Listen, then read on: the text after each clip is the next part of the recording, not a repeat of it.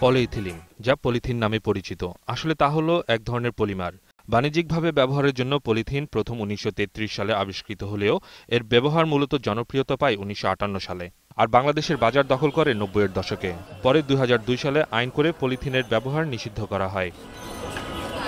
বিগত বছর কয়েক ধরে আকারের পরিবর্তন করে পলিথিনের ব্যবহার আবারও মাত্রাতিরিক্তভাবে বেড়েছে। দামে সস্তা ও সহজ ব্যবহার উপযোগী হওয়ায় ব্যাপক চাহিদা রয়েছে দেশীয় বাজারে। প্রায় প্রতিটি বাজারে প্রকাশ্যে বিক্রি হচ্ছে নিষিদ্ধ পলিথিন। অপরাধ জানি তারপরও পেটের তাগিদে করছি।